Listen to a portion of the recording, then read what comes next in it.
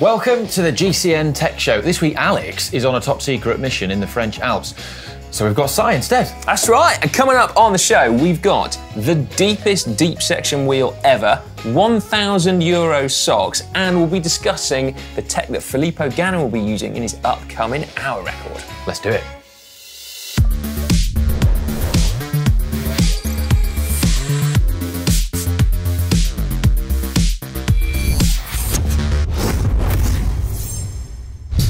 Filippo Ganna will attempt to break the UCI hour record on the 8th of October at the Tissot Velodrome in Grenchen in Switzerland. Now, the best distance set so far, the greatest distance, is 55.548 kilometres, and it was set by Dan Bigham in August of this year.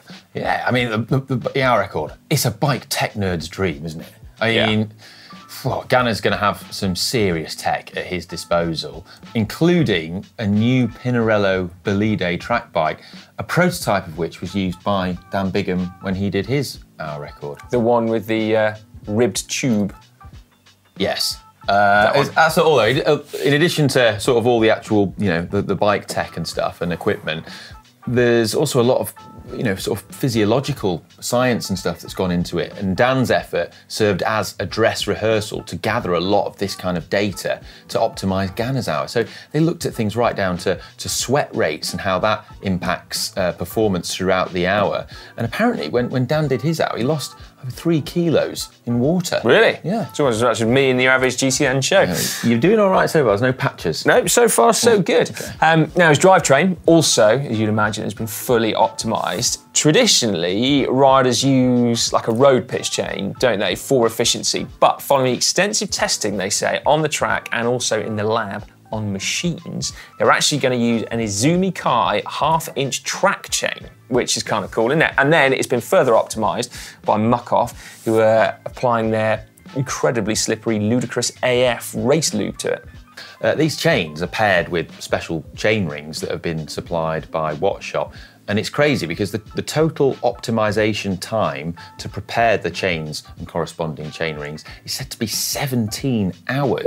And this is because um, Muc-Off say that they're doing uh, hydrosonic uh, cleaning and, and surface prepping of the chains and chain rings, and then doing several cycles of applying and reapplying the ludicrous AF lube because apparently this this actually they've they've measured gains from from doing it in this way. Yeah, and you might be wondering how much saving is made after 17 hours of prep. 15%, apparently. Yeah, but 15% sounds like a massive number. Does. But when you actually break it down and put it into the context, it's not as much as what you might think. Yeah. So if we take that 15% and apply it to the drivetrain, a, a good sort of track bike drivetrain, you can sort of say as a rule of thumb, it's 98% efficient when it's all clean and got good lube on it, right?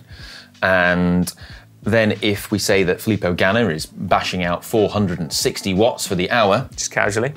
then with that 2% drivetrain loss, that equates to around 9, 9 watts that he's losing through his drivetrain. Okay. If we save 15% on that, 1 to 1.5 watts saved. Yeah.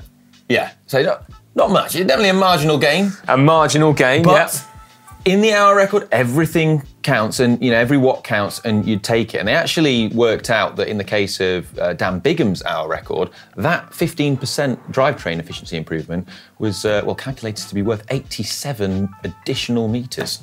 That's pretty cool, isn't it, It is, when you isn't it? break it down like that? I would not turn down 87 additional meters. No, if I was going to do an hour record.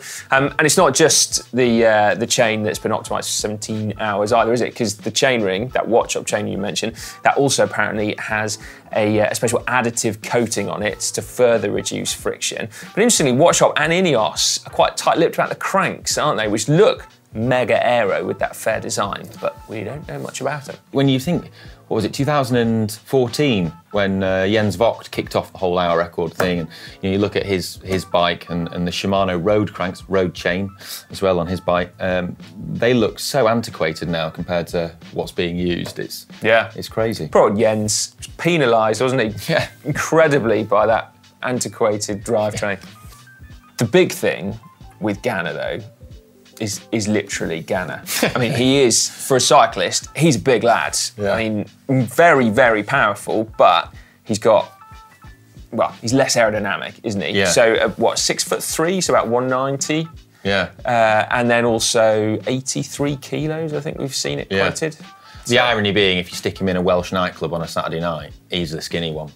Yes, So big for a cyclist. big the- for a is cyclist, the we key should thing. say. Fortunately, the weight doesn't matter too much on uh, on the hour record, but his size and his frontal area does. Um, and so, if you remember back to when we did a, a tech show on on Dan Bigham's hour record effort, uh, in that it, we calculated that his drag coefficient, his CDA, was as low as 0.155 when he did the hour, which Slippery. is it's obscene. I mean, that is uh, incredible to be that that aerodynamic, and it's about 25% more aero than Ganna. So Ganna's CDA is around sort of 0.2, right? But you'd expect that with the sort of expertise of, of Dan and all the latest equipment and you know some aero trickery, they can you know probably get his CDA down to maybe like 0.185, which is which is pretty good for someone of his size. Yeah. Now, the question of how far he can go, though, I guess depends as much on his power output as well, of course, Yeah. and also the atmospheric conditions. You'd imagine that Ineos are going to be pretty confident that even with unfavourable weather conditions, Yeah. he's going to be able to break that record.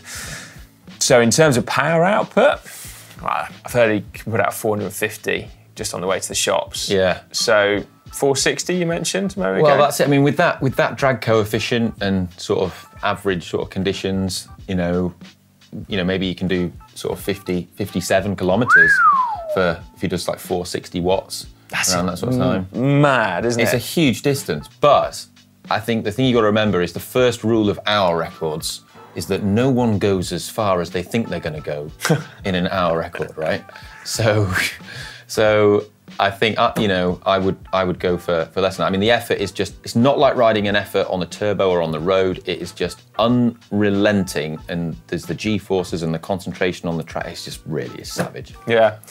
Interesting though, Alex Dowsett broke the first rule of hour records, didn't he? Yeah, he did. Because he actually uh, undergeared himself Yeah. and could have gone further. Yeah, and he had he actually had really in his first hour record. This is when he broke it. Yeah, the um, they uh, had really good atmospheric conditions. That said, I am gonna predict my prediction. Right, is he's gonna do uh, 56 and a, and a half, 56.5 kilometers. Really? I reckon he's gonna do. Okay, right.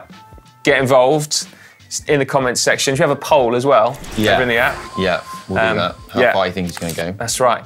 Um, thinking of unfavourable atmospheric conditions, Yep. can I tell you a random fact I know about Bradley Wiggins' hour record? Go for it, love it. so the atmospheric conditions deteriorated so much in the days between its like dress rehearsal and the hour record that they had to print a smaller chainring for him to use. No way. Yeah, yeah. So, uh, so yeah, had had he had better conditions, he would have potentially properly put it on the shelf. Yeah. But yeah, they had to they had to print out a new. Uh, That new is mad. I mean, I, the- say print. It might have been machine. Yeah. can't remember.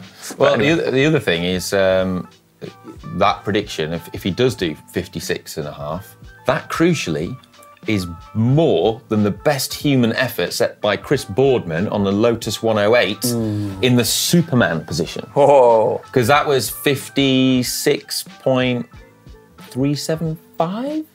you're looking at me like I might know the answer. I don't know the answer. I'm going to Google it. I'm going to Google it. Yeah, it was. Yes. There you go. Anyway, let us know what you think Ganna's going to do um, down below. Vote in the app. Ten points for that bit of trivia, Ollie. It's time now for hot tech, and Cross is coming. Cross is here. Mm. Cross has already started, and Canyon have just announced their latest Inflite cyclocross lineup. So the frames haven't changed from the ones that have won a gazillion world titles under Mathieu Van Der Poel and Ceylin Del Carmen Alvarado, but they've got some seriously jazzy new paint jobs Yeah. as well. But what's interesting, we thought anyway, was that all of the specs, bar the lowest model, the SL6, have got power meters fitted as standard from Quarq or from 4iiii, which is kind of cool, isn't it? That is cool, isn't it? Like bikes increasingly come in with with, with power meters. Yeah. I'm all for that. Um, that's not all though. Right now is um, the Ironman World Championships in That's Kona. right, yeah. Now, GTN, of course, they're all over this. They're out there. They're covering this. And the thing is with, with the Ironman World Champs in Kona is you often get a load of highly UCI illegal tech uh, being launched Yes. and, and deployed there. Think along the lines of beam bikes and um, really, really long socks.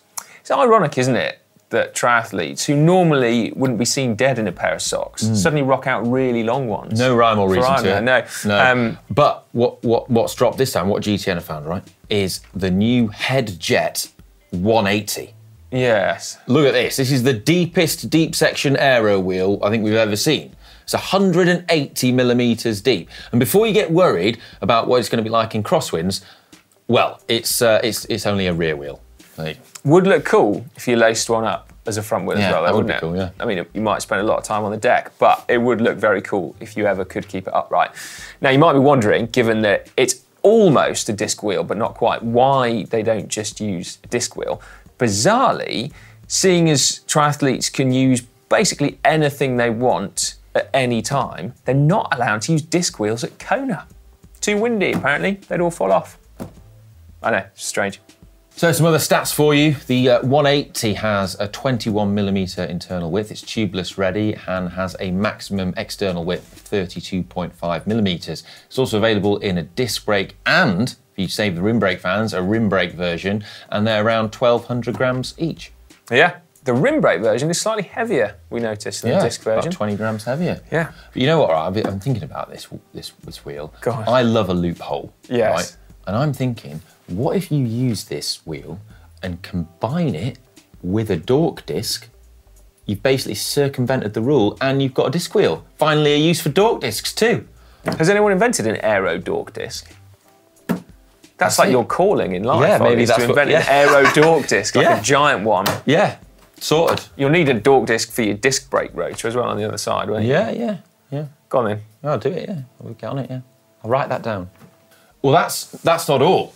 There's something else new out, right? That is uh, well, triathletes they're going to love it. So some new aero socks, and they cost one thousand euros a pair. Whoa, holy mackerel, that's expensive. Even more than, quite a lot more in fact, than the fine that Annemiek van Vleuten received for wearing said aero socks that were pulled up so high, the UCI, basically, they'd kind of The sock police. it contravened the ban, didn't it? Uh, whilst she was winning the World Road Race Championships that happened at the weekend, and you can watch on GCN Plus. Yeah.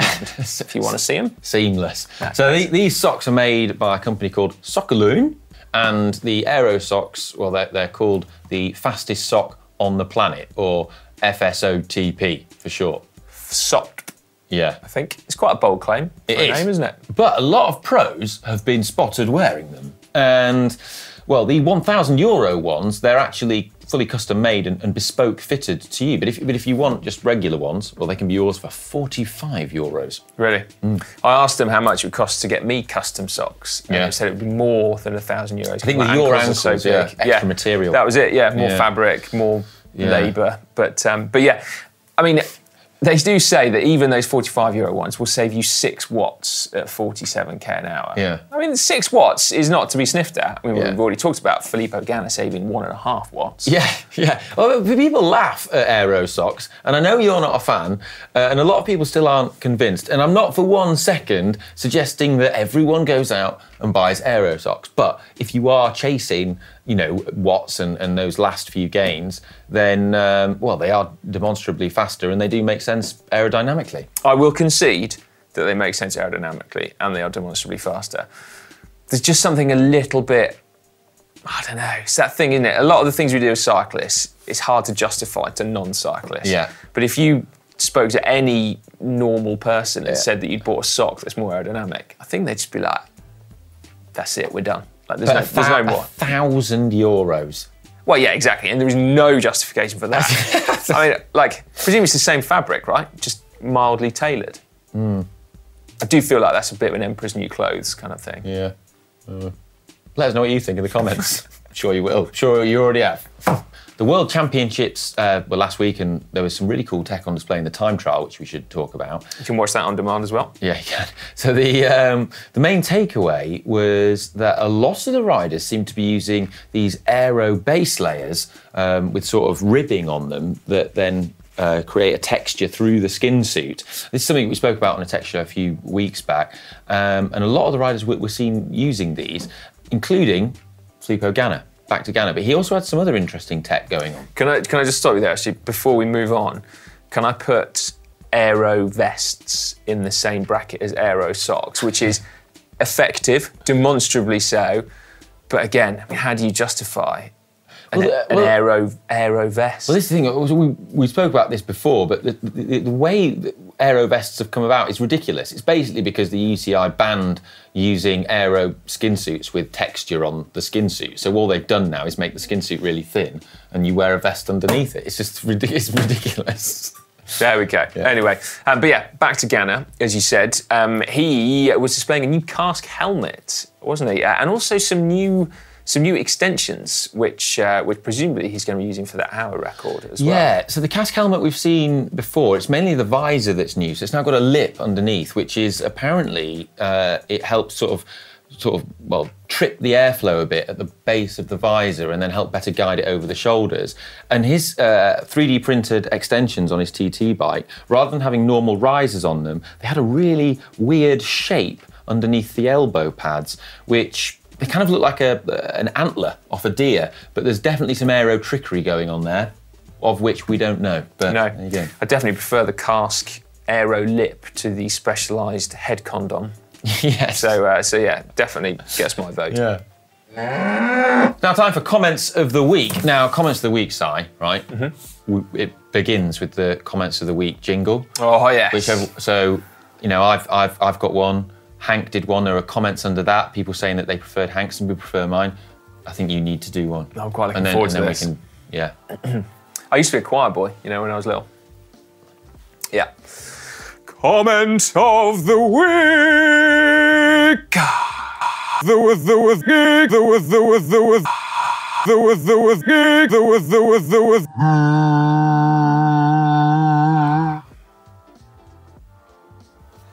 Cool. Right. So, uh, first comment this week is um, is is under Alex's excellent video where he's been doing his super light bike. It's from Michael Williams, and uh, it, well, we were asked if is Alex going to beat me in the hill climb that he's going to do on his super light bike for, for less than a thousand pounds. And Michael Williams has commented, "Let's hope so." Otherwise, the GCN crew aren't going to have Ollie as the perpetual butt of all of their fitness jokes. Michael, Michael, don't worry. It's going to take a, a lot to shift that mantle, isn't it, uh, that you carry? So I stoically. just don't know what I can do. I mean, I just don't know what I can do. Keep doing it, mate. Keep doing what you did. Uh, right then, underneath the show last week, Ethan Godridge said, uh, Thanks, Alex and Hank. No fails from me. My granddad is an engineer and does any complicated bike maintenance. There we go. And he, Yeah. oh, he wants another jingle poll. Yeah. He, well, well, we've, we've done it for you. Um, and uh, again, underneath uh, the Alex's light bike, this is this is from Ken. He, without doubt, thinks Alex is going to beat me. Does he? In this hill climb race, yeah.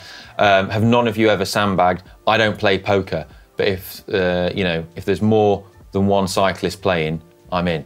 Um, so yeah, uh, it's not looking good for me. I don't think. I don't know. I mean, I don't think Alex is a sandbagger, is he really? I don't know. Well, you'll have to tune in and watch uh, the, the video of the hill Yeah. climb with the one thousand pound bike. Coming out on. Friday on Yeah. GCN, that one.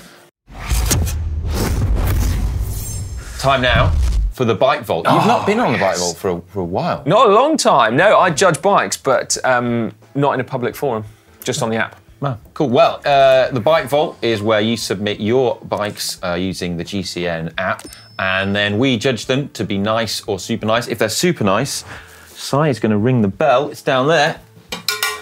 Um, and um, well, you can you can also vote on all the bikes featured and submit your own in, in the GCN app. So, without further ado, last week's most super nice bike is this Cervelo S5. That does look good, from? doesn't it? It's from Champagne on Beer Wages. nice. New S5 on tour, quick stop in Canberra on the way to the Worlds in Wollongong. Yeah, what do There you make of that? Uh, I am a big fan of an all black bike. I know there are people out there that say black bikes are boring, but that is not a boring bike. Yeah, That is cool. It like is a- that. that is a that is a really nice bike. I'm a The wheels are aligned. It's nice new Ultegra on it as well. I, I'm. Um, it is irking me that the rear wheel is slightly cropped out of the frame, but I am. Um, I can go super nice on that one. I think. Yeah, that is that's been done well, I think, isn't it? Right, ready? There we go. There we go. Who have we got next? Next up, we have got Ted Ward P or T Edward P. Um, check out this Colnago Arabesque. Oh, yeah, That very nice. is an absolute beauty with Campagnolo. Super record. Yeah, Ah, do you know what I really like? Uh, that Brooks saddle and then the the sort of matching brown bar tape. do you? You know, you're not one of those people that wears like a black suit with brown shoes, are you? no, but I'd wear a navy suit with brown shoes. See, that to me looks like a black suit with brown shoes. like, oh, I like. It's an absolutely stunning bike, utterly gorgeous. But I personally would have gone for black. Bar He's tape. not in Biggie Smalls. The, the photo is taken somewhere weird. I don't know where it is, but it looks like it's carpet on the wall. carpet on the wall, or is it? Oh, yeah, now it makes sense. Not, Yeah. not just a carpeted wall, but actually a carpeted floor. Yeah, uh, it's still a bit weird, isn't it? I, is. I think I'm going to go nice on that one. Yeah, okay, no, I'll agree with that one. Um, Yeah. Next up, we've got Christopher Harrell, 44, uh, with a chameleon paint job on his Specialized Tarmac SL5. wowzers. What do you make of that? Well, I can't take my eyes off the uh, LED lighting that's behind it, actually. It looks all super futuristic. Yeah. Um, I'm a big fan of that. And whilst I wouldn't use shiny bar tape personally, it does look kind of cool in a photo, doesn't it? it does, doesn't it? I mean, that is, yeah. With my my sweating, I'd slip off as soon as I held on the Yeah. drops and uh, face plant into my wahoo, so to speak. But um, Do you know what? It's, it's not in Biggie Smalls, though. no, that seems like a catastrophic error. Yeah, and um, I think the bike is, is being lost a bit in, in the background. I mean, that's clearly his favourite colour, isn't it? Because he's got his curtains, his wall, and his bike all in the same colour. Yeah. Also, uh, I know this is. Oh no, actually, no. I was about to say the uh, valves aren't aligned with the tyre logos, which is not something that ever bothers me, but I know is something Yes, that uh, we, you know, we, we can't let any old riffraff into the vault. No, no, no. That's a nice. I can't understand. Like Bike Vault's been going a long time now. Why would you not stick it in the big ring? Yeah, I know. Did you miss the memo? They did, yeah. Ah, anyway, okay. Next up, uh, that's just a nice, right? Yeah, yeah. Really sorry. But there we go. Uh, Keith Noon. Is it almost worthless? He asks. Yes. Is it a perfect JRA rig for my kid at college? Absolutely. I tell you what, I like that. I actually I follow an account on Instagram Yeah? called Commuter Bike Club, and it's basically retro mountain bikes from the early to mid 90s that have been kind of like made to look just really cool. Stick a pair of like massive tan wall tires on Yeah. there, like maybe like a porter rack up front. Honestly, I've been trawling eBay for 90s mountain bikes. Right, now this is going to be controversial and this is going to wind people up, right? But I like trolling the audience. You, this, is, this is an example of you don't have to have a really expensive bike for it to be super nice. No? And there are rule infractions here, Okay. but it, the bike is clean, it's old, and it's. I, I- I just love it when something's super functional. Yeah. So I'm going to say super nice on this one. Cool. I know they're all they're all oh they're going mental on the keyboards here now. Particularly that poor guy with the Colnago Arabesque. Yeah. And the one with the specialised, the lovely paint job. But no. There you go. Yeah. Uh, next up, we've got this bike from Amateur, who uh, has. Well, wh- this is the first one I've seen. That's the new Canyon Ultimate CFSLX. No cables at the front. Look. You'd like to say it's in the wild, but clearly it's not. It's actually in his nan's garden. Yeah. I, I think. I mean, look at it. It's really clean. It's well, it's new. Uh, he's um, lined up his valves and wheel logos and everything perfectly. It's all clean. There's nothing on it. I, I mean, I'm going. Hold up, hold up. Aren't the cranks in the wrong place? They're level. No, Uh, they're upside down. They're not level. I still think that's. I think that's. I, oh, I, Really? Well, we have to agree. So if you don't think it is, then it's nice. I mean, I feel a little bit like, you know, you, you can't not give a, the Colnago and the Specialised a, a super nice. This one, All right, fair, fair enough. I mean, it was a super nice from me, but we have to agree. So it's not. It's just a nice.